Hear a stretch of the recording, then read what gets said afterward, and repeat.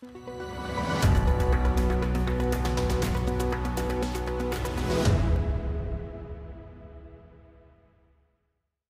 welcome to this discussion, which is part of our Greater China series. Today's edition is sponsored by Asiaciti Trust, and we'll be taking on the topic of robust strategies for protection of wealth and assets for high net worth Chinese and cross border families.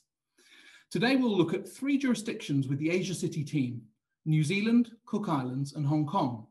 For each of these jurisdictions, we're going to discuss key features, concerns and considerations, and possible solutions for clients to consider.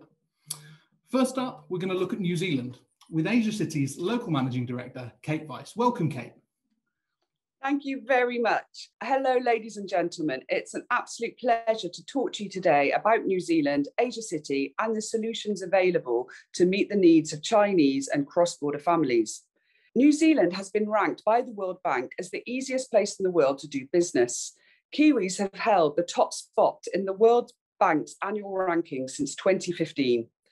The country follows the British Westminster parliamentary system and has a monarchy set up, with the government led by our Prime Minister, Jacinda Ardern.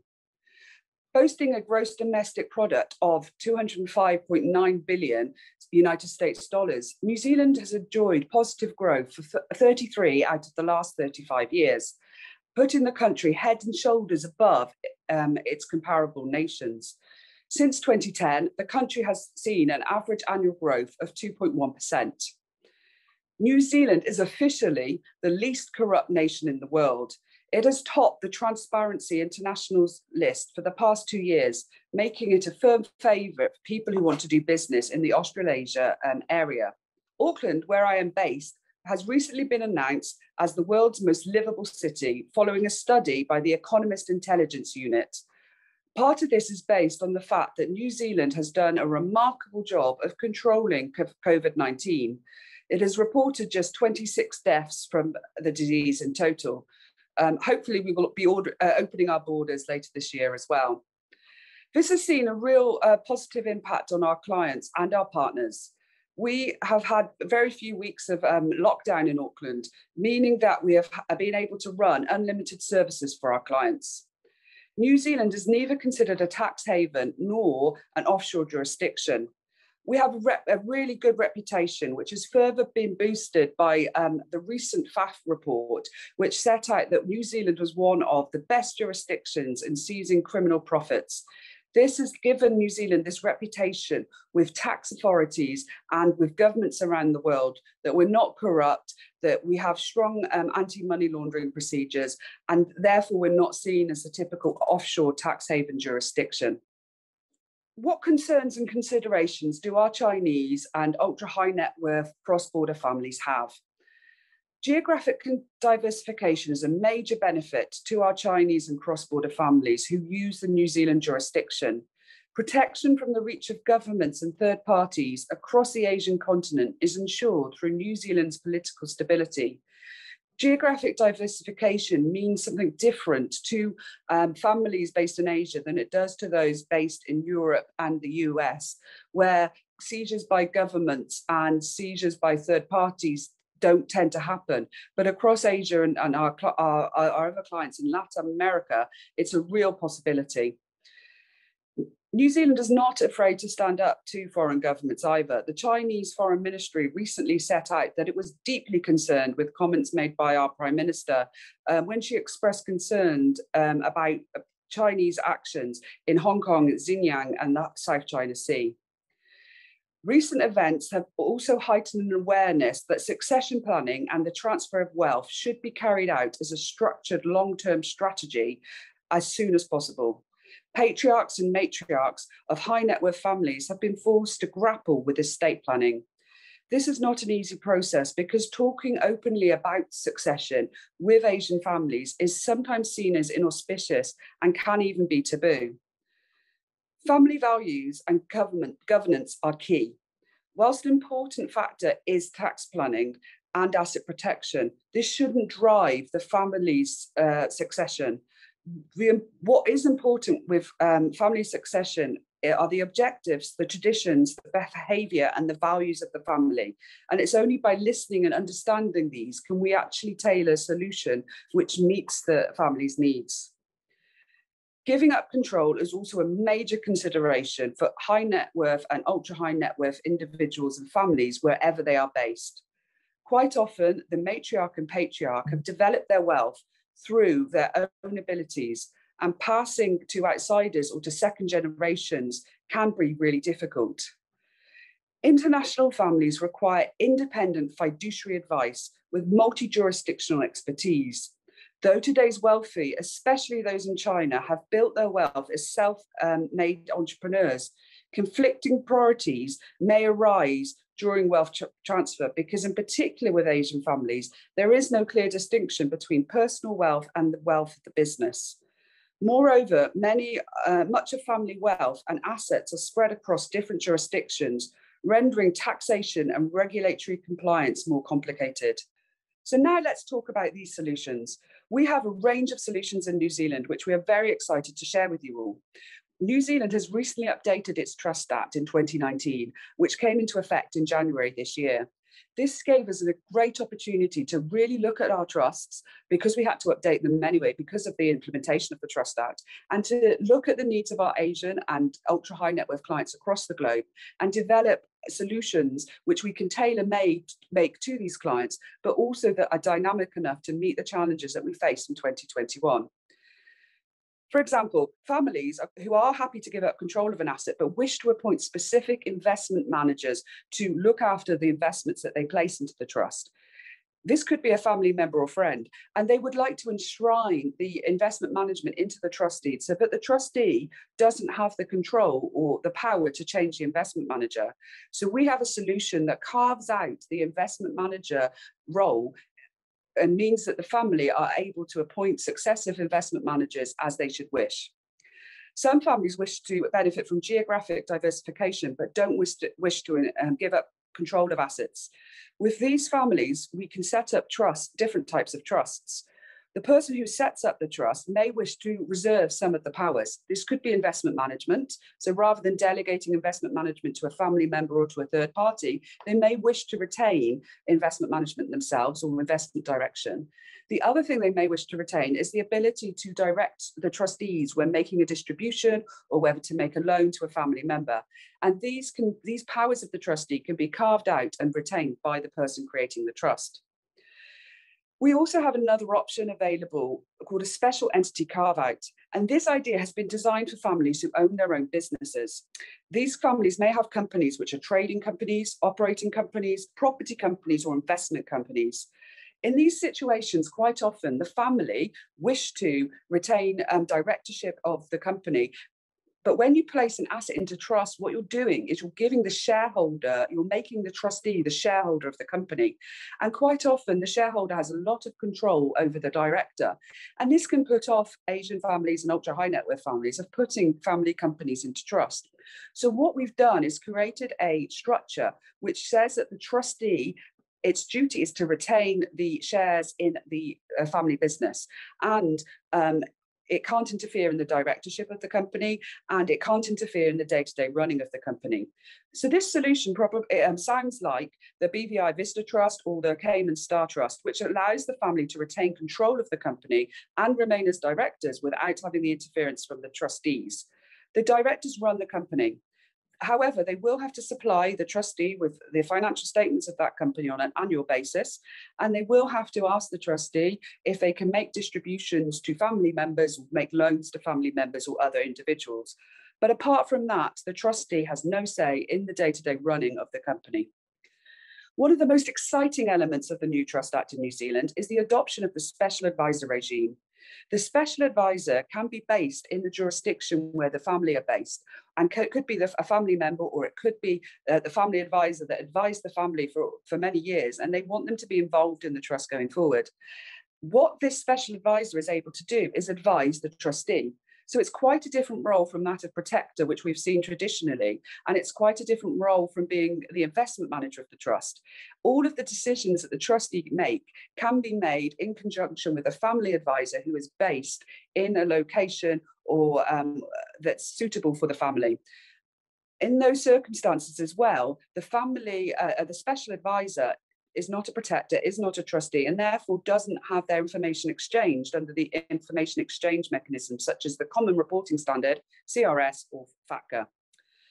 Another element which came out under the new act is this ability to delegate the custody of assets. So the trustee can be the trustee, the legal owner of the assets, but can delegate the custody, custody of these assets to a third party. And perhaps that could be in the jurisdiction where the family live.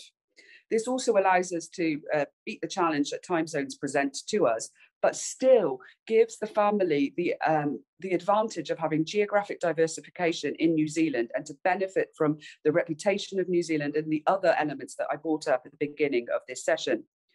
In some cases, the family may wish for the trustee um, to be bespoke to their needs. Some family members might want to be a, part, a trustee.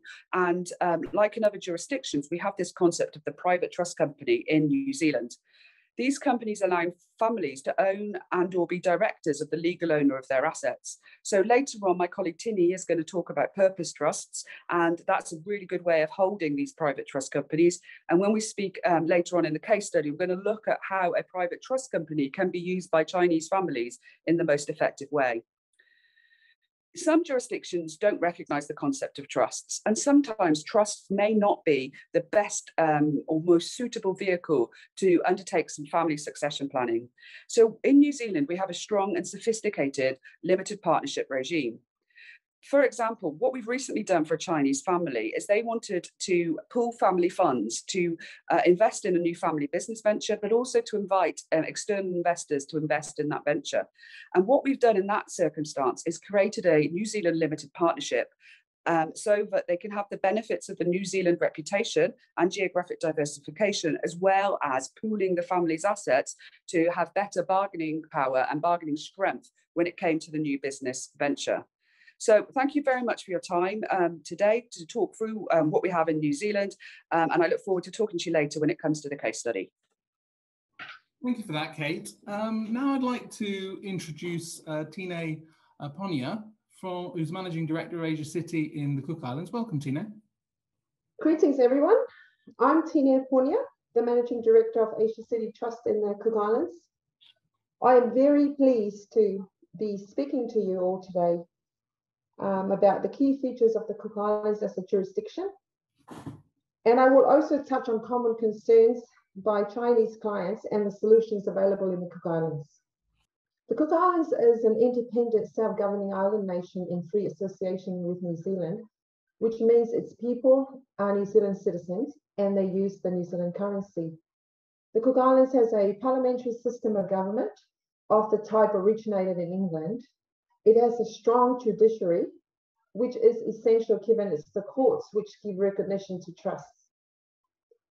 The Cook Islands International Trust Act has been around for almost 40 years, so Cook Islands practitioners understand what trusts are and what is required for their proper administration. The Cook Islands is well known for its highly robust asset protection laws making it the premier asset protection jurisdiction. It has strong privacy laws with no public registers for beneficiary and settlor details. And it's an offence to disclose any information about an international trust except as prescribed by legislation.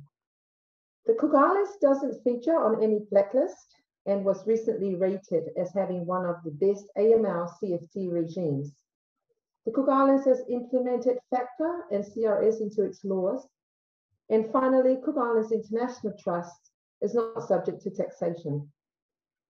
Often we hear concerns by Chinese families about the need to protect their assets against potential claims from those who attempt to take them by force, litigation, or legislation. They're also concerned about ensuring their children inherit their, their wealth with ease and that any associated risks are appropriately managed. And while these concerns are important, Chinese families also want to hold on to control of their assets. This brings me to the products that are available in the Cook Islands that can help address the concerns of high net worth Chinese clients. For asset protection, the Cook Islands is well known for its asset protection trusts. These are discretionary in nature which means if the beneficiary becomes bankrupt or is sued personally, assets held in the trust are protected against those claims because they don't form part of the beneficiary's property. The trust contained duress and excluded person provisions, meaning no excluded person can ever benefit from the trust, and actions done under duress are invalid. Under Cook Islands law, if a claimant wants to attack the assets of the trust, they must sue the settlor within 12 months of the date of transfer of assets, as well as commencing an action in the Cook Islands against the trustee within 24 months of the date of transfer of assets to the trust. The claimant must prove his or her case to the high standard of beyond reasonable doubt. In the event the claimant is within the limitation period and successfully argues a fortunate transfer case, the only remedy available is to seek recovery of the, of the property that would have been available had the transfer to the trust not occurred. The Cook Islands doesn't recognize any overseas judgment that is inconsistent with its asset protection laws and a Cook Islands trust can't be void because the settlor is bankrupt, insolvent, or in liquidation. If a settlor's main concern is protection, but would still want some control over how the assets are managed, a standard asset protection trust with a Cook Islands trustee and reserved powers to the settlor to invest and manage assets might be the ideal structure for that settlor's needs. Otherwise, the Cook Islands offer other products such as purpose trust, private trustee companies, which can work in combination with asset protection trusts. The Cook Islands law allows for purpose trusts which do not have charity as their objects, and for private trustee companies or PTCs that can act as trustee for up to three trusts.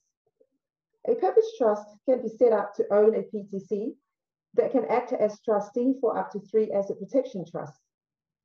The purpose trust is a good succession planning tool as the ownership of the PTC will not be affected by the death of the settlor. The settlor can become a director of the PTC and therefore retains control over the trust. And the fact three separate trusts can be set up under the trusteeship of a PTC gives the ability to diversify risks. Lastly, Cook Islands law permit dynasty trust with no perpetuity period therefore making it an excellent multi-generational succession planning tool. Thank you very much, and I look forward to talking to you more on what the Cook Islands has to offer. Thank you very much, Tine. And um, finally, from Hong Kong, uh, welcome Cally Ching, uh, Managing Director there for Asiaciti's uh, local office. Hi, all. Hi. Thank you very much, David, for the introduction. And hello, all. I am Cally from Hong Kong. So uh, today, I think most of you guys already know about Hong Kong, but maybe I'll just give you a little bit of like uh, updates or some details about um, Hong Kong and then the tax, right? Okay. Hong Kong law system is actually developed based on English common law and the local legislation. We have a very simple tax system in Hong Kong, and we use and uh, we use the territorial basis system. The profit tax rate uh, in Hong Kong is just like from 8.25 percent to 16.5%. Uh, we have no VAT, and then we have no capital gain tax, and then we have no estate duty. So um, the Hong Kong government has an initiative to further promote Hong Kong as an international financial center. Recently, we have introduced a new legislation on limited partnership funds and have offered like 0% tax rate for the carry interest receipt. So um, in Hong Kong, we all know that we have got supplies on uh, uh, legal and accounting professional to support the deals and the and the structures that um, we and uh, our client wanted to do. Okay, this just briefly about Hong Kong, and then um, just want to give you some updates about uh, what happening at the moment or what happening in last year. So um, I think last year we all experienced a very difficult time, right? Uh, in Hong Kong, we have lockdowns for a few months, and then we have uh, all these social distancing measures like many other places in the world. Uh, but all this did not, did not stop the city from moving forward. Our capital markets were very active in Hong Kong in last year, and also were very active now as well. So we raised second largest IPO poses in the world last year, like the first being uh, NASDAQ. In 2020, it was it also a record high year for the wealth management sector here. So on top of that, We will soon to have our wealth management connect system in the Greater Bay Area. And we have, um, and we see some of the uh, financial institutions are all getting ready for the capital flow within the um, Greater Bay Area. For example, like HSBC, like the other day, the other day says they plans to hire like 5,000 customer-facing wealth planner in the next five years to actually support the growing um, demand in the region. So all this add up to the increase in demand for wealth management services like banking, insurance, as well as trust services um, in Hong Kong. For example, uh, we see a lot demand for PIPO trust, employee benefits trust, and then the family office related services. We also see clients become more sophisticated and then structures becoming more complicated. Purely having one Hong Kong office definitely will not sufficient to fulfill all these requirements for our local clients from China and Hong Kong. So, um, so this is why uh, we need our colleagues like from Cook Island and then from New Zealand to actually help our, um, our to structure for our, our clients' needs and requirements. When we talk about the concern of the Chinese high net worth individuals and then cross-border broader uh, families, I think the most um, the more concern is how to, uh, which jurisdiction to go for uh, when they want to set up the trust, whether they should go, whether they should use Hong Kong or some offshore jurisdiction when they are talking about, talking about setting up the trust. And then, um, and then another concern is um, they would like to have retain as much control as possible. They want to control the trust. They want to control the trustee, and then they want to control the trust assets. So we are we always like as Kate says, like we have to teach, we have to talk to the client. We have to ask the client to strike the balance when we are structuring. And then um, and then one more concern or consideration that the, the Chinese families has over the trust setup is um, the turnaround time and then the succession planning and then the asset protection when they when there is a divorce like situation. So this is um, the concerns that I see from these um, uh, cross-border families. Now, it comes to my third slide. What are the benefits of having a Hong Kong-based provider which could work together with clients to set up structures using the unique features of New Zealand and Cook Island? Well, um, as an independent trustee and being a family-owned organization, in terms of servicing the client, you could consider us as one Asiaciti group with eight branches instead of a group with eight independent offices. But of course, structure-wise, we are still eight independent offices. I have been with Asiaciti for around six years. So far, I see the team here in Hong Kong has worked very closely together with New Zealand, Cook Island, and then Singapore team to service our clients. For those clients who choose to set up structures outside of Hong Kong, we could introduce them to Kate and Tine. Then the Hong Kong team would maintain a face-to-face relationship with clients in Hong Kong and in China. We could attend meetings and inquiries locally with clients, handle part of the bank inquiries, for example, the, um, the KYC document requirements on us, and some other certifications. In this way, the client would not need to wait. Things can happen within the same time zone. They can just use Cantonese and Mandarin to communicate to us. And of course, the client do not have to worry about the cultural differences between, um, between themselves and the trustees. So now, let's look at this, uh, the case study we have prepared today. These are actually live cases where we use the structures offered in New Zealand and Cook Island to our ultra high net worth clients with family office in Hong Kong, as well as for the employee benefits trust of a listed company in Hong Kong. Now let's um, pass it on over to Kate. Thank you.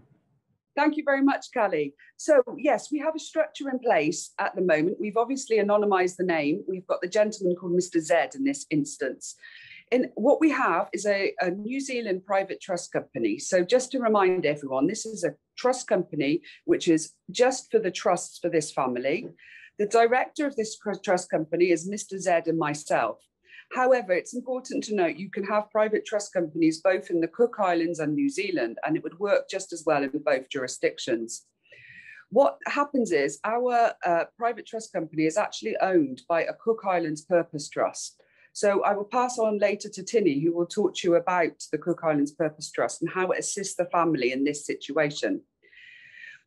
On the um, private trust company, so myself and Mr. Z are directors. Now, my Chinese is awful. I don't think I can say a single word in Chinese, which is why it's so important that I work with Cally and her team with Mr. Z. Mr. Z will speak with Cally and her team they in Chinese, um, and you will then translate it for us. And a lot of the documents that we see can be in both English and in Chinese, um, either Mandarin or Cantonese. And um, we will then look at the documents, and it means that we can both sign the documents in our mother tongue. Um, Cally and her team are also able to assist us when it comes to looking at business practices and the way that Mr. Z works and the way that Mr. Z wants to transact his business. And they're able to bridge that gap between the way that we work in New Zealand and the way that people work in Hong Kong and, and mainland China. Um, under this structure, we actually have three trusts. One's a business trust for their business assets, one's a financial trust for their financial assets, and the third is a trust which holds um, various family um, assets, for example, the family office. But these companies could hold anything. Um, and another way that we, we, we, do split up trusts, and this is something that Cally can perhaps talk about a little bit later, is we, we've done this similar type of structure for employee benefit trusts for Chinese companies. And we've had separate trusts so that we can have a trust for employees of that company who live in jurisdictions so that if a disclosure does need to be made to a Chinese government, we're only looking at employees from a certain jurisdiction who are disclosed to the Chinese government or to other governments around the world, which really, again, lends to this idea of geographic diversification. So if we look at each trust, um, the family members and Mr. Z and I are the legal owners of the trust assets. And what the trust holds is a holding company. And the holding company in some instances can be a Cook Islands company or can be a company um, from one of our other offices. For example, in this case that I'm thinking of with Mr. Z, it's a, our Samoan office runs one of the companies. And underneath that holding company are the family's assets. So we, we, we don't get involved in the day-to-day running of those family companies in um, China and or in Hong Kong. Cally and her team are there at hand to speak with Mr. Z to talk about um, the way the things that the trustees need to know about those companies in order for us to discharge our liabilities and for order us to meet our duties under various AML legislation. So that's the way the structure works. Um, the, way that it works in practice is that Mr. Z and myself haven't actually spoken ever on the phone or directly emailed to one another. That's all done with Cally. So for Mr. Z, Asiaciti, as one team, is the director of the company and the provider of the company and the underlying trusts. But for us, it means that we're able to work in different jurisdictions and present a seamless, um, a joined up, unified approach to the client. They don't have to speak to different people in different jurisdictions, but we're able to get the necessary expertise and advice in the jurisdictions where the trusts the businesses, the companies, and the clients are based. So I'd like to pass over to Tine to talk about the Cook Islands Purpose Trust and to talk about how these kind of trusts can also work in the Cook Islands and the added layers of asset protection that the Cook Islands can offer. So in the in the case study um, slide, the uh, Cook Islands Purpose Trust owns the um, New Zealand PTC, which acts as trustee for three of the trusts. Now, the as, as I mentioned in my presentation, the uh, Purpose Trust uh, is a good succession planning tool um, because it's the ownership of the PTC will not be affected by the death of the settlor. And if the, the, the settlor that set up the, the Purpose Trust, who also wants to be a director of the PTC, um, passes away, the control the ownership of the PTC remains with the um, with the Purpose Trust and doesn't have to go through uh, probate. So in that way, um, it's a good um, succession planning tool. a purpose trust can be created for an indefinite period and an enforcer can be appointed and and the purpose trust can be enforced by the enforcer on the terms set out in the trust instrument. Uh, the trust instrument may contain provisions in relation to the resignation, removal or replacement of the enforcer. And an enforcer can be a person or entity situated in any, any part of the world. The purpose trust for this in, in this case um, has a purpose rather than beneficiaries, and the purpose being to hold the shares in the PTC. Well, thank you for that review of the jurisdictions and useful case study. Uh, and now I'd like to welcome Marcus Dearle, who's a leading international family lawyer, to talk on uh, some of the uh, considerations from a family law and international asset protection perspective. Marcus, welcome. Thank you very much indeed, David. Hi, everyone.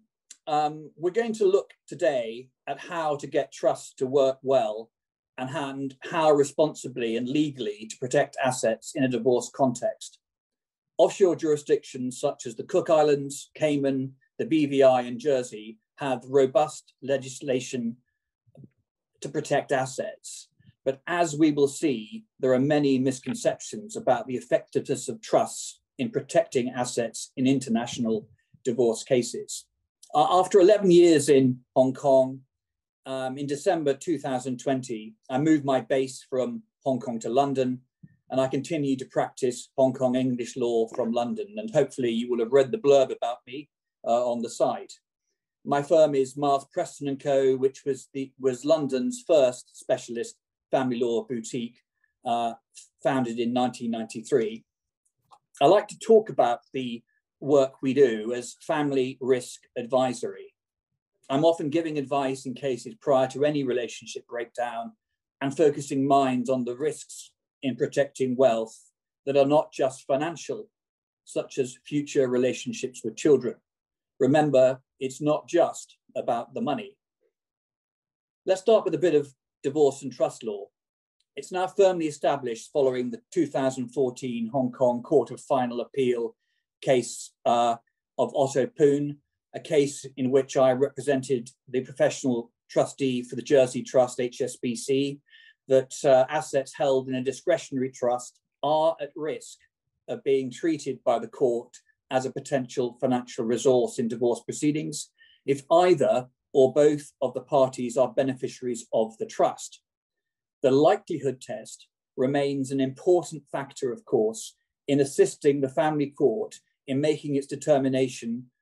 And that test is if the husband or wife, as the case may be, were to request the trustee to advance to him or her the whole or part of the capital or income of the trust, would the trustee, acting in accordance with its duties, on the balance of probabilities be likely to accede to that request, as set out in the Court of Final Appeals decision. The discretionary trust in Poon was not improperly drafted, as is mistakenly assumed by some in Hong Kong. It was a standard discretionary trust drafted in a similar way to most other discretionary trusts. The Court of Final Appeals decision didn't impact on the more robust asset protection approach afforded by genuinely dynastic trusts where the settlor is not a beneficiary. It's to these truly dynastic trusts that individuals wishing to try to ring fence assets responsibly should continue to be directed. But it's often a hard sell. The paradox is that substantially wealthy clients in Asia who can easily afford to put a significant part of their wealth aside into dynastic trust structures are usually not prepared to settle the trust without being a beneficiary. Thus, a discretionary trust is chosen despite its asset protection vulnerabilities in a divorce context, as shown in Poon. It's essential that when discretionary trusts are set up, advice given to the client is carefully noted to guard against the risk that a client might later assert that those vulnerabilities were not explained sufficiently or at all at the outset, and that they were lulled into a false sense of security. Sometimes it transpires that there is truth in these complaints, particularly where a trust was set up through an intermediary more interested in the money in the portfolio account than the suitability of the wrapper the asset was held in. That is why probably the most important message to go with, with today is this.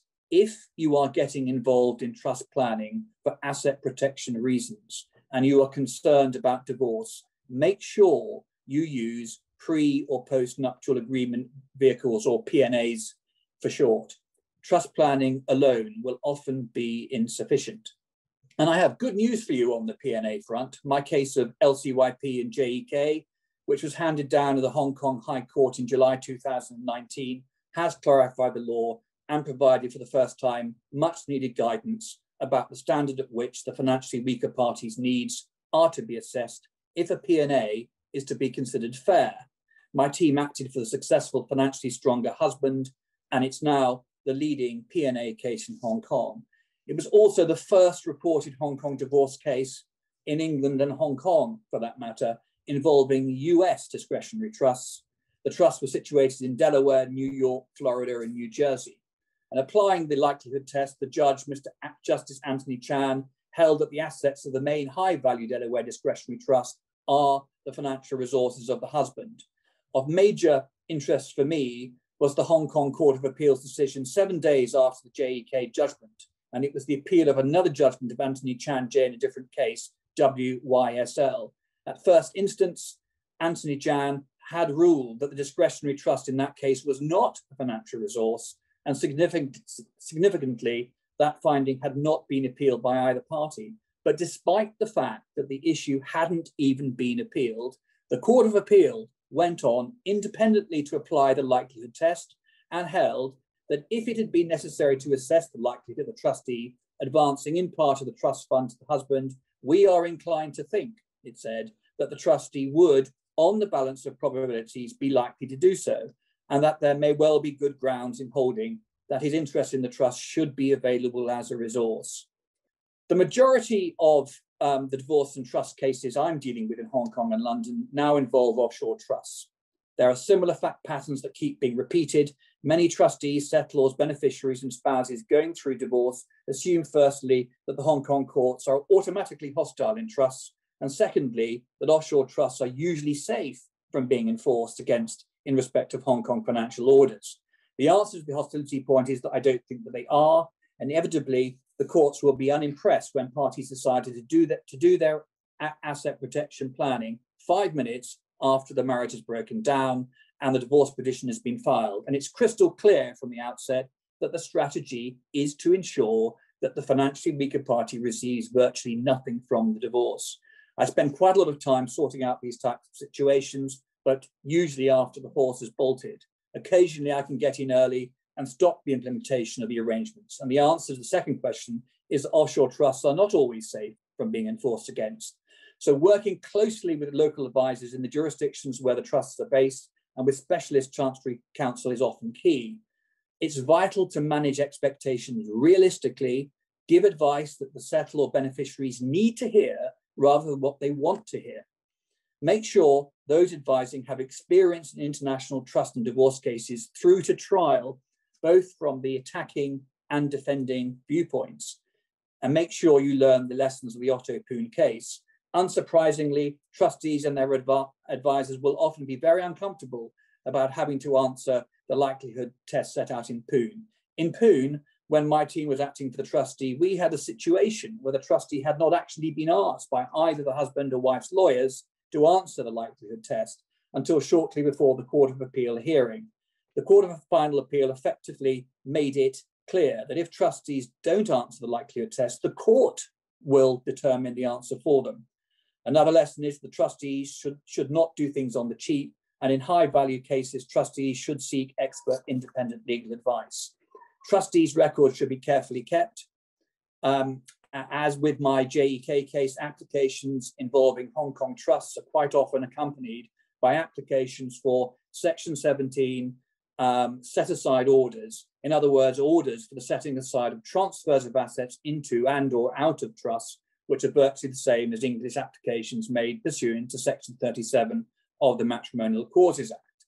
And in JEK, the wife was applying to set aside significant payments into the trust. The trustee had to prepare trust accounts from scratch in a hurry under great pressure. In Delaware, it didn't automatically prepare trust accounts, believe it or not. It had made mistakes, which were fortunately we were fortunately able, but at significant further expense to Spot. For instance, the trustee disclosed that a £5 million sum had been paid by our client into the trust just after the divorce petition was served on him by his wife. Yet it turned out that that payment was not an external payment at all.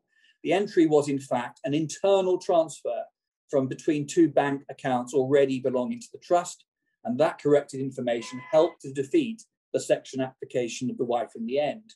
Crucial issues revolve around questions such as whether the trustee should submit to the jurisdiction of the Hong Kong court and working out the ramifications if the trustees are joined into the proceedings, which we don't have time to go into today, sadly. And in the 2000 Court of Appeal case of Judge and Judge in London, where I advised the trustees in, in connection with the Guernsey Trust, uh, Lord Justice Wilson, as he, as he then was, said trustees, the trustees have been properly defensive. And I think it's very, very important for trustees in divorce cases to be properly defensive generally to get the balance right. So um, here's the Cook Island slide. Uh, it has excellent legislation reserving certain areas of law relating to Cook Islands International Trust for Cook Islands law only, prohibiting recognition and enforcement of foreign decisions in these areas. This includes asset protection in divorce context, but you must always think outside the box and think internationally. The protection is not automatic. It's highly likely to be a mistake, for instance, as we've heard earlier, to do the asset protection plan in five minutes after the marriage has broken down and the divorce petition has been filed. That comes with a high risk.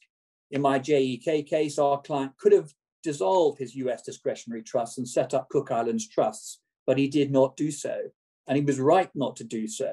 In the well known London case of Akhmedova recently, solicitors and trustees in the case for the husband have been severely criticised by the High Court in London for getting involved in what the court described as fraudulent schemes. And remember, you cannot guarantee confidentiality. If there are trust orders, uh, trust officers, for in, uh, for instance, uh, in Cook Island trusts in, in Hong Kong or London, wherever the divorce is filed, they might be subject to court orders to provide trust information and documentation. Very, very briefly, um, the Chinese client lives in China with his wife. The husband sets up a, a Cook Islands trust and an underlying BVI company without getting consent from his wife. There's a bank account opened in both Hong Kong and Singapore uh, under the BVI uh, company with bankable assets and insurance policies. The first question is what happens if there's a creditor in Hong Kong chasing the assets of the husband? And secondly, what happens if his wife files a divorce in Hong Kong? Well, first off, I mentioned that there's a creditor chasing. That's not my area of specialism, and you would need to go elsewhere for that. Creditor protection in divorce, in a divorce context, is very different. Uh, so you've got to make sure you differentiate between the two. Assuming the wife has grounds to file in Hong Kong, she's likely to want to file there. One of the most generous jurisdictions in the world is Hong Kong, the financial weaker party. She'd need PRC, BVI, and Cook Islands advice, as well as Hong Kong law advice. So will the husband. The trustee will also need advice. The bank account in um, Hong Kong might be very vulnerable indeed. The Hong Kong court might treat the trust as a variable nuptial settlement. And if it is felt there is a risk that the husband might move the asset away from Hong Kong, the wife might apply for an injunction preventing its removal. Assuming the wife is not a beneficiary of the trust and it's a nuptial settlement, she might threaten, for example, to vary the trust and have herself added as a beneficiary by rewriting the trust deed with the Hong Kong court's assistance. The Cook Up Islands lawyers for the trustees are likely to advise, of course, that a variation order against the trust by the Hong Kong court will be unlikely to be enforced in the Cook Islands.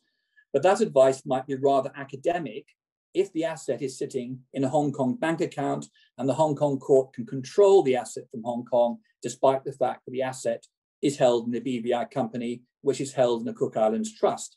If I was advising the trustee, I would want to take the Cook Islands advice uh, as to whether the trustee should submit to the Hong Kong court and how to handle an application by the wife to join the trustees to the Hong Kong proceedings. If the husband needs to go to Hong Kong for work, it's technically possible in some circumstances for the Hong Kong court to make a prohibit, prohibition order preventing the husband from leaving Hong Kong. I did that successfully once, and it was a very, very effective tool. Also, if the court determines the answer to the Poon likelihood test, that it is likely that the trustee will advance funds if asked by the husband to the husband for divorce award purposes, then it might make an order requiring him to pay his wife a large lump sum as a, as a final award, say 50% of the bank account. If he refuses to pay the wife, the wife could then launch a judgment summons and threaten to send him to prison if he doesn't pay up. So there's a lot of a lot for all parties, the husband, the wife, the trustees, and the directors of the BVI company to think about and worry about. But I think the husband would probably have been much happier if he'd entered into a prenuptial agreement or postnuptial agreement in tandem with his trust planning. The English and Hong Kong courts are much less likely to intervene and or criticize when parties implement responsible asset protection arrangements involving the execution, for example, of a pre or post-nuptial agreement, which sufficiently covers, at the very least, the financially weaker party's real need, perhaps in combination with dynastic trust planning. In those circumstances, advisors can take a more robust approach to the asset protection advice they give to clients. Thank you very much. Well, thank you for that, Marcus. Uh, fantastic insight. And thank you to the uh, Asiaciti panel for speaking today. We look forward to opening up the floor now uh, for a live Q&A.